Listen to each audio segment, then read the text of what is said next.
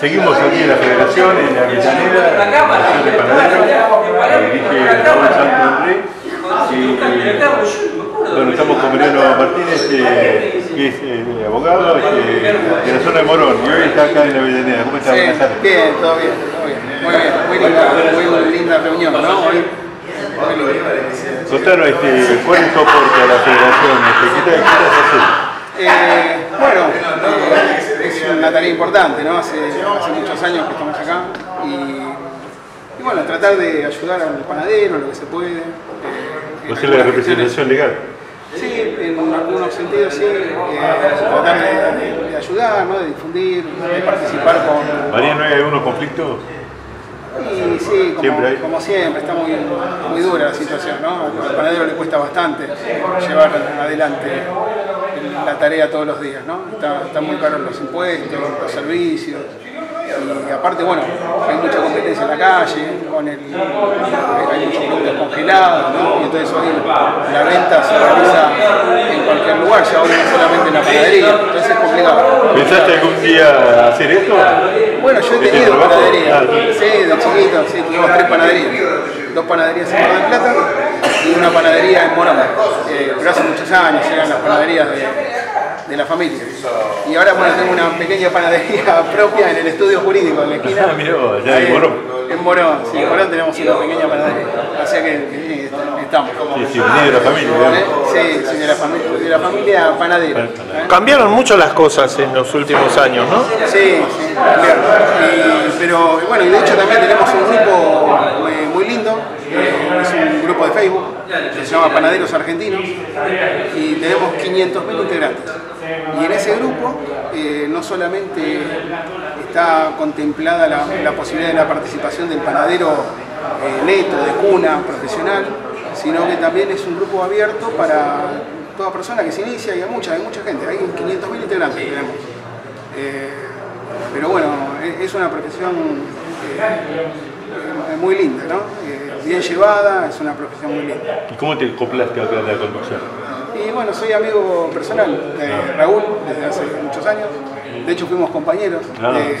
de- Claro, de abogado. cursada. Claro, pues nos recibimos los dos grandes, ¿no? Y bueno, hicimos un, un lindo vínculo. Y bueno, en principio, igual desde chico siempre me, me, me atrajo, ¿no?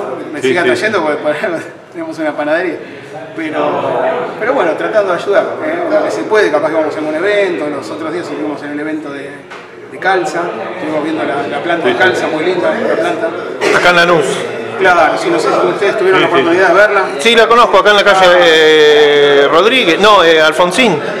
No recuerdo la Sí, calle ahí cerca de Centenario Uruguayo. Sí, señor, tiene, la conozco. Sí, la conozco, la conozco. Muy lindo. Y, y aparte tienen una muy linda propuesta, porque ellos ahora están atrás de, de la ley del panadero eh, profesional. O sea, para, para que ese panadero artesanal siga siendo protegido. Eh, que no pasa, hoy está muy desvirtuado con. hoy quizás la gente antes adquiría algunos productos de panadería netamente en panadería y hoy uno va a una estación de servicio y tiene media luna, muffin, croissant, bueno, una serie de cosas, ¿no? ¿Sentís que la competencia hoy es casi desleal? No sé si tanto, me parece que la tecnificación eh, del panificado es importante. O sea, quizás lo que es desleal es la transmisión hacia el cliente. O sea, quizás la gente eh, no diferencia bien la calidad entre el pan tradicional de panadería, en el proceso Sí, de sí, en fabricación. cuanto a la información, llevo Claro, sí, y en realidad qué cosas tienen eh, panificados que la gente eh, reconoce como saludables, porque hay mucha publicidad en ese sentido, entonces capaz que con respecto a la tecnificación, bueno, qué sé yo, es difícil, porque uno puede tener una buena producción tecnificada de un pan natural. Lo que pasa es que por lo general no se hace, porque se le pone mucho conservantes y muchos productos para que ese pan tenga, no sé, eh, cuatro o seis meses de, de duración. O, por ejemplo, las galletitas. Hay galletitas que tienen un año y medio de, Vos decís que hay como una publicidad engañosa en cuanto al resultado final de un producto. Sí, sí, obviamente. A las grandes empresas les sirve, ¿no? A Arcor, a Nestlé, o sea, los, los grandes monstruos que hicieron que los productos se vean como, como naturales, eh, con, estudios realizados por universidades que están patrocinadas y bancadas por esas empresas.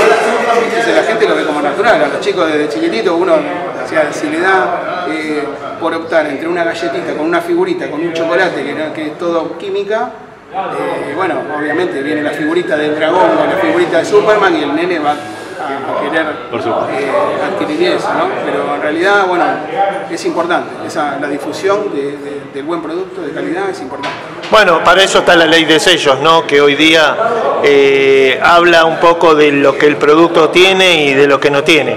Sí, pero es media quizás ¿Confusa? esa ley, ¿no? De sello. Me parece que eh, la gente se da cuenta de cuando hay un producto de calidad. Y, y ya te digo, sobre todo la persona que está medianamente asesorada y entiende que un producto eh, natural tiene un vencimiento quizás de una semana Lógico. y, y con solo ver que hay un producto, no sé, eh, unas pepas, por ejemplo, eh, que se venden en almacén, ¿eh? que, po- que podrían competir directamente con una pepa que se hace en panadería. Y esa pepa que, que- que compite en panadería en 7 días está para tirar. Y la otra en un año y medio. Entonces, bueno, algo debe haber. ¿eh? Así que bueno, Eh, muy bueno, gracias. no, gracias a ustedes. eh, gracias a ustedes.